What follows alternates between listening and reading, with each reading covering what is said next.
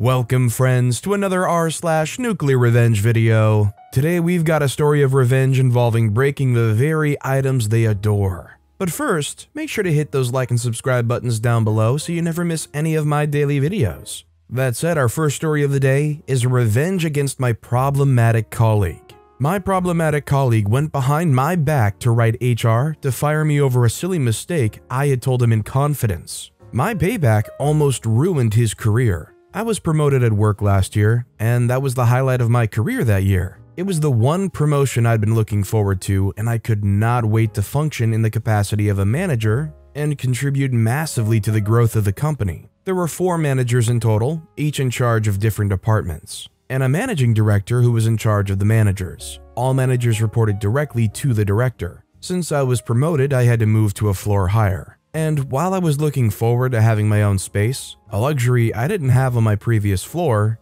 it was hard saying goodbye to my previous coworkers on that level. They were great people, and we had a lot of fun together. Most of us even became friends from working together. I was slightly disappointed when, after I resumed work as a manager, I realized that I wasn't going to get the private office that I'd always wanted. It was such a bummer, but I decided to not think too much about it. All the managers had their private offices, but it was not so private. Before that, I had never seen an office arrangement like that. Our offices opened up to each other, so we were all in the same office, only we had makeshift walls used to create divisions. There was just one large door to get into my office. I had to pass through the offices of the first three managers, and they had to pass through each other's offices. The only person who didn't have to pass through others' offices to get to theirs was the first manager. Her office was the first anyway, so she would just walk right in. Mine, on the other hand, was the fourth and last in arrangement. I had to walk through three to get into mine. When I first came, I whined to the first manager about how I had to go through many offices. She smiled and said, Listen, you're lucky. Your office is the corner one. Think of it this way you may have to pass through three offices, but no one ever passes through yours. Trust me, dude, it gets annoying when everyone has to pass through your office to get to theirs. Her office was the one with the large door, so she knew what she was talking about. I looked on the bright side and started to enjoy my office space until the third manager came around. Everything was perfect until he resumed work from his leave. First of all, he didn't like that I got the corner office. He went on and on about how he had called the corner office. He complained to me and to anyone else who cared to listen, and at some point, I wanted to grab him by the throat and shove him away. Who even calls anything and lays claim to it just by calling? Were we in high school? He'd been eyeing the seat and didn't like that I got it instead of him. At first, I was quite apologetic about that, I knew how it felt to not get something you badly wanted, so when he was passive aggressively mentioning that he wanted my office, I jokingly apologized and we moved past it. Or so I thought. Not only was he a very controlling jerk, but he was also rude, condescending, and extremely competitive. The other managers hated him, and even the team he manages couldn't stand him, and while they understood their reason, I still felt their hatred for him was not justified and was not proportional to his immature behavior. One day, I was speaking with the first manager and I told her this I know he's a little bit too much, but I don't think he deserves this much hate. She laughed and shook her head. Listen, that guy is a nightmare. I hate him so much, I wouldn't mind a truck hitting him on his way to work tomorrow. She continued laughing. I felt her comment was a bit extreme, said goodbye to her, and left for home. On my way home, I wondered what he might have done to deserve so much bile from the other managers and his subordinates. I knew he was competitive and childish, even when there was no competition. He would just try to outshine everyone, and it was very obvious how he would put others down to make himself look good. I minored in psychology at the university, so I figured his behavior was informed by the kind of childhood he had. He probably had parents who compared him with his siblings, and that's why he grew up to be competitive and unnecessarily combative. Apart from the fact that the other managers would say terrible things about him behind his back, they never invited him for happy hour or said anything around him. They would hide even the smallest details of work and their personal lives from him, and I never understood why until much later. I asked the first manager though, and she advised me to ask the other manager why they did all that. At some point, it looked like they were bullying him. He was treated like a pariah. I noticed how hurt he would look when one of the managers would invite the others for something and simply act like he wasn't there. I felt very bad for him and decided I was going to befriend him just so he wouldn't feel so left out, and also to see if I can get him to stop his high school jerk behavior. I started to talk more to him and invite him to come out with us for a drink after work. I knew my other colleagues didn't like that, but I did it anyway. He would hang out with us, and I tried to get everyone talking to one another, but it was awkward, so I stopped and just stuck to talking to him without trying to carry others along. We soon became quite cordial, and I noticed he relaxed on the high school jerk thing, even though he was still competitive, and tried to outshine everyone when the director was around. Something happened months later, and this changed how I saw him and our budding friendship. The director called a meeting for the manager's performance review, and he praised my work and that of my team. He was proud of the work I had done well, and he encouraged me to continue. The other managers were glad for me and we shook hands, but my colleague, who I thought was well on the way to being a close friend, was visibly disturbed. All through that day, he was irritated and went around with a long face. I tried to find out what was wrong, but he wouldn't even speak to me. I figured something personal must have happened and I let it go. I told my girlfriend back home about it, and she said he was probably jealous of the good review I got from the director. I refused to believe that because he had gotten a good review too. In fact, he mostly gets a good review at work. The only issue anyone had had with him was his bad behavior. Other than that, he did a good job at work and even worked hard to look better than all of us. My girlfriend, however, pointed out that he may be angry because he sees me as a threat. I considered what she said and felt even worse for him. It must be tragic to live one's life like that, constantly worrying that you would be replaced. After that weekend, he was back to his usual friendly self, and we started to speak again. One of the employees in my team was missing in action for a whole week without notifying me, and I was upset about it. I ought to write a written warning for that, but I didn't because when she came back, she explained what had happened. She had been feeling overwhelmed and needed time to care for her mental health. I understood what that felt like and warned her verbally to never repeat such. Unfortunately, she did it again, and this time tried to appeal to me to not write her a warning. When I spoke to someone else on my team, I found out it was a habit for her, and the previous manager had issued her two warnings. I decided I had to write a third warning so human resources could call her in, but I forgot to do that. I didn't even think much about it because it was a busy week until the end of the week. I was telling the difficult colleague about how I made a silly mistake of not writing her a warning and how I'd made another one, and we both complained about how some team members can drive one up a wall. The next week's Tuesday, I was invited by HR and questioned on why I didn't report the lady in my team. I knew it was my friend who had reported me, and I couldn't bring myself to understand why he would do that. It couldn't have been anyone else because I hadn't told anyone else. When I left HR's office, I went straight to his office and confronted him. He refused to answer my questions for a while, but later he looked up at me and said, People like you make people like me look bad cutting slacks all the time and trying to get people to like you. He said it coldly and quietly, almost in a whisper. I went to my office with a new understanding of why the other managers like to keep him out of their conversations. I was grateful that HR only let me off with a warning and didn't consider it something enough to deserve any serious attention. The next day, the director calls us all for a brief meeting and gave a long speech on how ensuring we carried out protocols with our team members was vital. You're not here to make anybody like you, he kept repeating this. After the meeting, he asked me to wait behind and informed me that someone had recommended me for dismissal. I was shocked because I didn't do anything so grievous, and since I knew who it was, I kept wondering what I had done to him to deserve that. It was so silly because I was his only friend at work.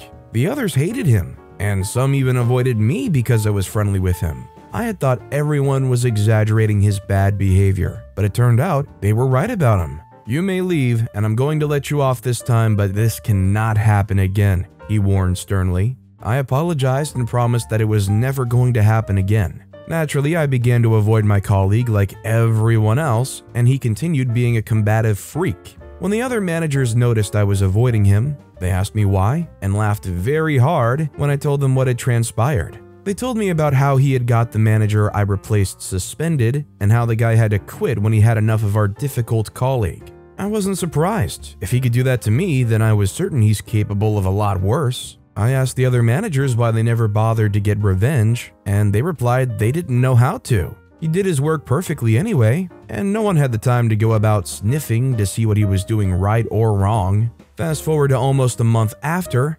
fortune smiled brightly on me. I was out on a Friday night date with my girlfriend when I saw my jerk colleague with a lady that looked very familiar.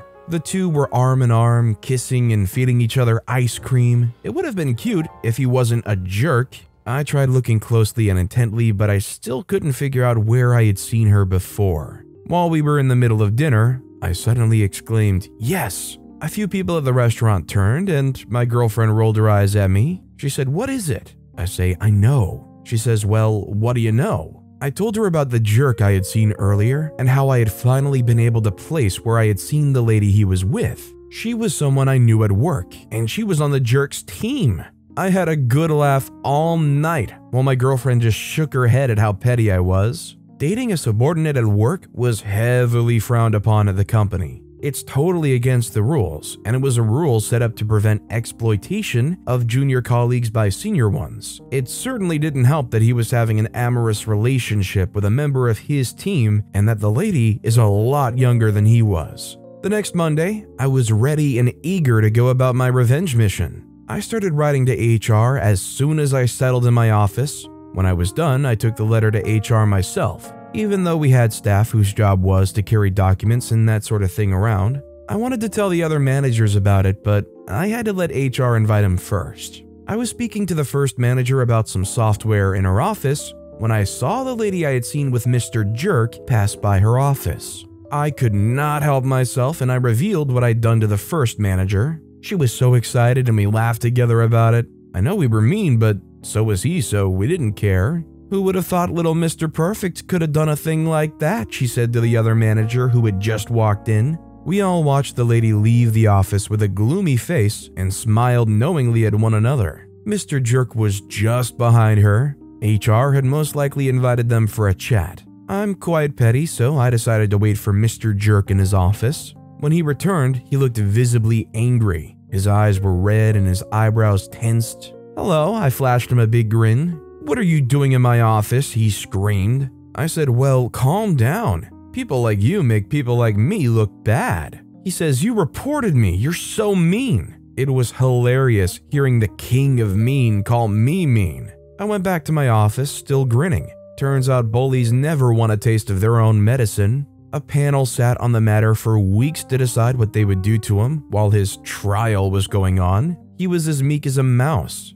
He stopped talking over others at meetings and trying to talk himself up while criticizing others. He went around hanging his head low in shame. I felt so good about what I did because if it was him who had caught someone else, he would have done just the same or even worse. I think it's really interesting here that OP tried to break down the psychology of it, and I think honestly it was really nice that they tried to look past it and engage them but I think it goes to show that with some people, even when you try to put your best foot forward, it's not really possible to, I guess you would say, save them. Do you guys think that despite the potential upbringing and history that led them to acting out this way, that they still deserve the boot and the outcasting from their fellow coworkers? Let me know what you guys think down in the comments. And our final story of the day is He Hurt Me, so I broke his Ed Sheeran vinyl collection. Don't let their smiles fool you. Nice boys are just as big jerks as playboys, and I learned that the hard way. My ex boyfriend and I were together for three years before I met this boy. Let's call him Steve,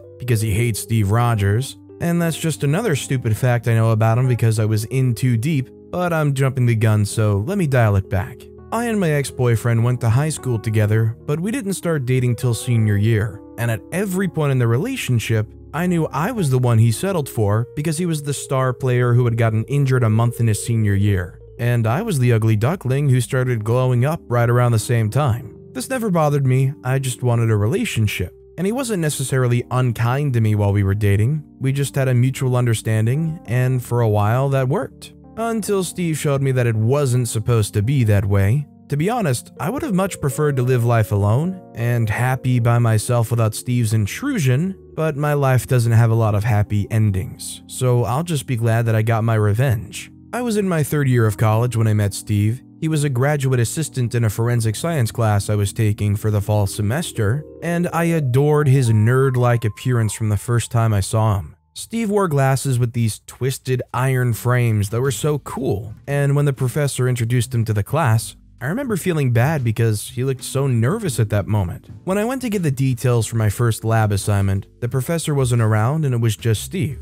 I complimented his glasses and he complimented my hairstyle, I had about three shades of green dyed into my black hair as highlights. Steve and I were friends for a month when he made the first comment about my relationship with my ex. We were having lunch with some of the other extra lab students, and he asked me quietly, How long have you guys been dating? I told him it was three years, but I also told him that was a random question, and he said it had been on his mind to ask, but he didn't really know how to present it. And I understood that because he was incredibly socially awkward, like me. I didn't push the conversation, and I didn't think about what he said until a few days later. My ex had come to pick me up from the lab, and he was being difficult about waiting for five minutes so I could record the findings of a test I was running. Steve was sitting a few feet away, and I saw him look up at us and shake his head. That was the moment I really started to question my relationship and have a second look at things I accepted as normal. Steve didn't make any comment about that situation, but two weeks later, while I was helping him carry some textbooks to the professor's freshman science class,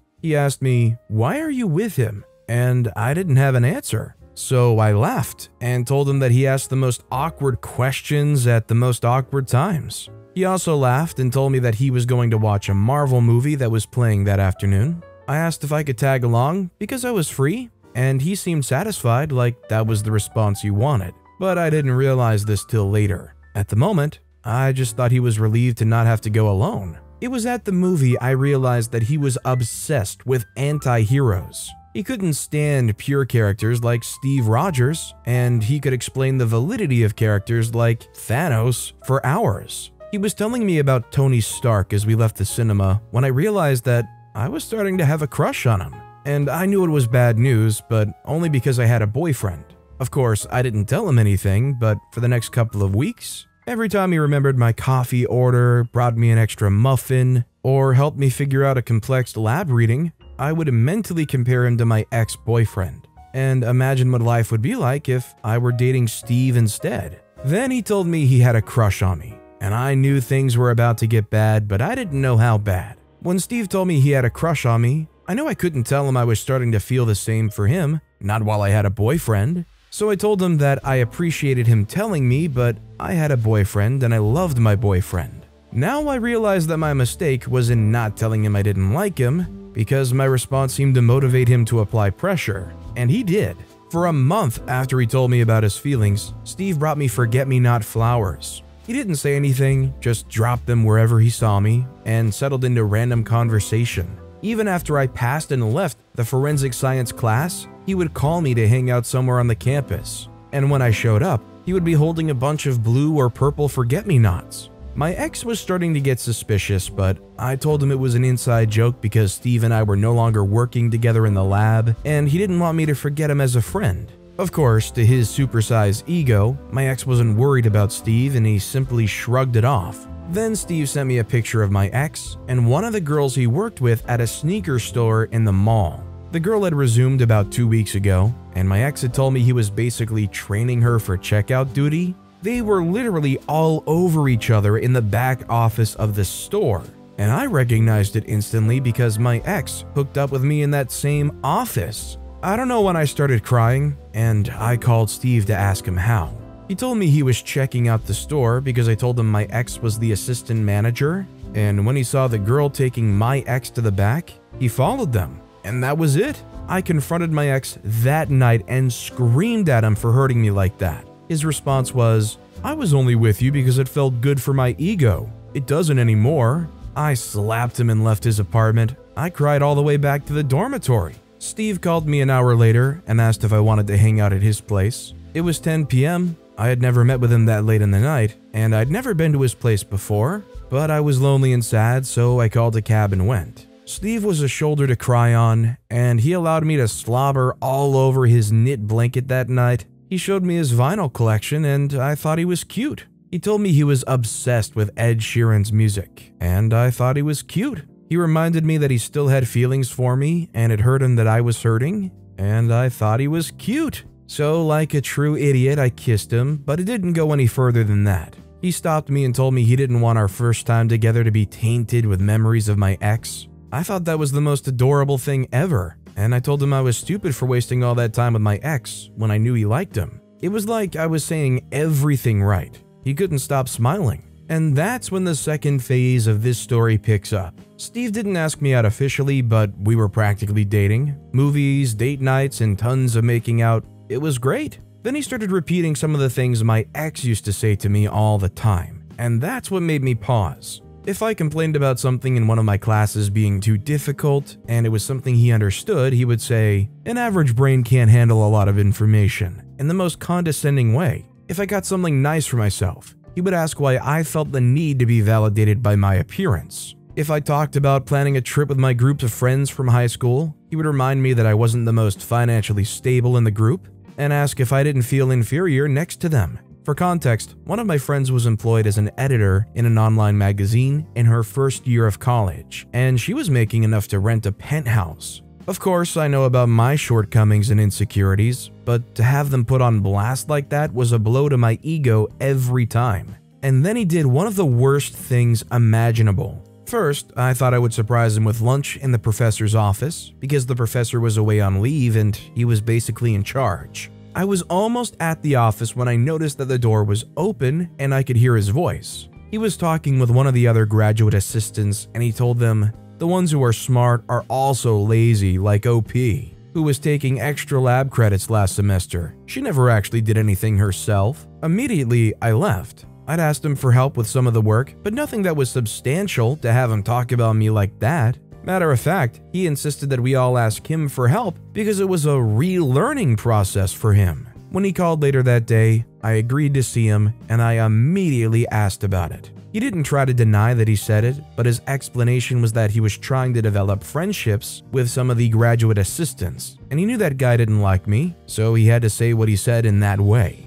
I was so shocked that I kept staring at him in silence. He thought it was okay to throw me under the bus because he was trying to make friends? I got up immediately and left. I didn't speak to him for a week, and he kept pestering me with calls. I finally gave in when he showed up to my dorm with a huge bouquet of forget me nots. He apologized. He said he would never speak to the guy again if that would help him get back in my good graces. He asked me to be his girlfriend, and he dropped the L word.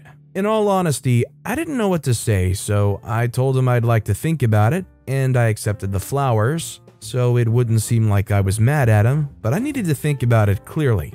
I called one of my friends who knew about the whole situation with me, my ex, and Steve. She felt like there were too many red flags I was choosing to ignore, and as soon as she said it, I knew I couldn't be with Steve. It was going to end up in a bad place for me, and I didn't want that. But I was still feeling bummed out, so I went to the mall to watch a movie, and on my way out, I walked past the store where my ex works, and I recognized the girl who was in the picture with him. I was so busy staring at her that it took my brain a minute to recognize that she was arguing with someone, and that person was Steve. I didn't know when I entered the store and walked up to them. I was almost standing right behind Steve when she hissed at him, and I heard her saying, So that was all you wanted all along? Something in my mind told me that I wouldn't know everything if I stood there, so I ran back out and stood on the opposite aisle watching them. A few minutes later, Steve walked out of the store, shaking his head, and the girl was pacing at the checkout counter. I went back into the store and I knew she recognized me immediately, although we'd only met each other once,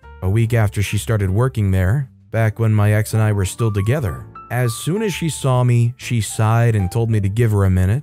We stepped out of the store, and she turned and started with, Your ex was a jerk, but Steve's just as bad. Then she explained how Steve approached her a few days after she started working at the store and told her that I was a terrible girlfriend to his friend, my ex, and that he knew my ex liked her but wouldn't do anything because he was in a relationship with me.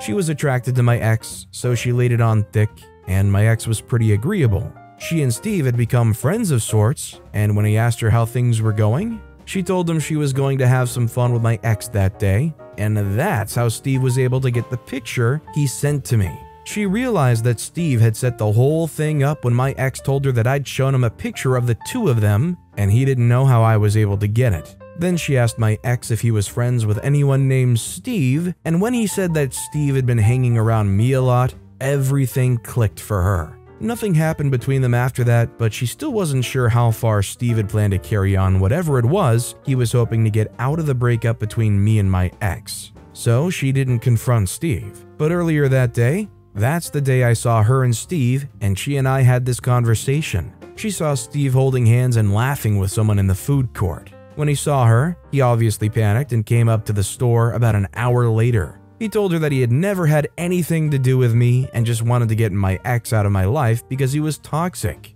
She was already believing him, but then he said she wouldn't even sleep with me or be my girlfriend despite everything. And that's when she'd said, So that was all you wanted all along? Steve tried to take back his words, but she was done with the conversation and furious. When she finished recounting everything and apologized for allowing herself to be used to hurt me, I was shaking with rage. I thanked her for her honesty, and I called Steve as I was leaving the mall. I told him I'd thought about everything, and I would like to see him so we can discuss our relationship. He agreed, and we set up a date at his house. As soon as I got there, I told him, You are insecure, selfish, manipulative. Staying with my ex was a stupid decision, but you are the worst mistake I've ever made. And I went directly for his vinyl collection, ignoring his shouts of no and oh my god, please no. I picked up the stack of Ed Sheeran vinyls first and I slammed them on my knees one after the other. His face was red, but I could care less.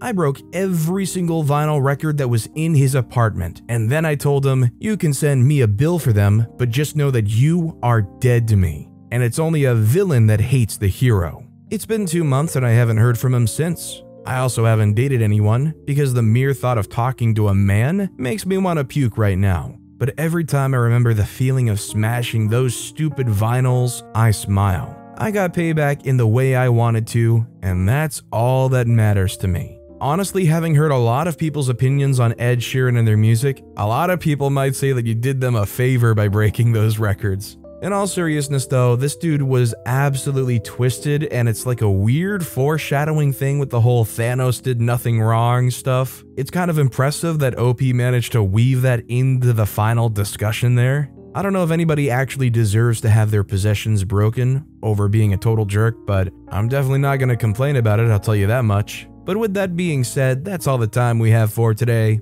Now, if you want to hear another revenge story that was absolutely crazy, click on that left video. Or if you missed my latest video, check out the one on the right. That said, I'll see you all next time with some more stories.